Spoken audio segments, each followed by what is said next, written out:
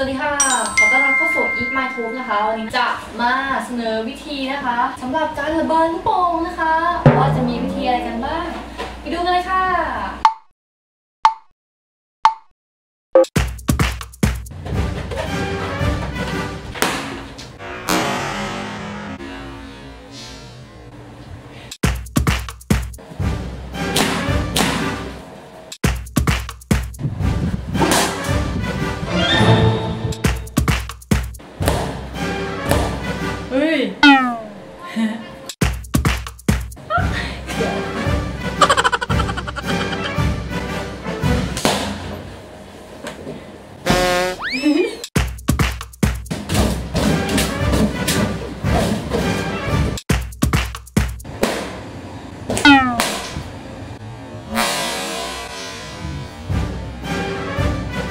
แต่วิธีที่ดีที่สุดของการ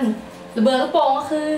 ตัดให้ขาดเลยชับชับชับตัดเลยจับจับจับตัดให้ขาดเลยจับจับจับก็คือการใช้กันไกรนะคะเดี๋ยวพี่จะทำให้ดูนะ จับตรงนี้แล้วก็นี่มันก็จะปล่อยลมออกมาเห็นไหมเสียงก็ไม่ดังด้วย แล้วก็เป็นวิธีที่ไม่น่ากลัวด้วยนะคะ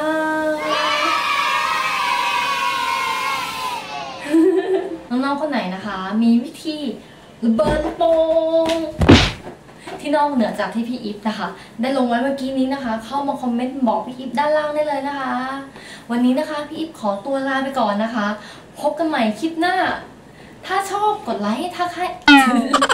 ถ้าใช่กดแชร์นะคะ และอย่าลืมกด subscribe ช่องพี่อีฟด้วยนะคะลาไปก่อนนะคะ บ๊ายบาย อื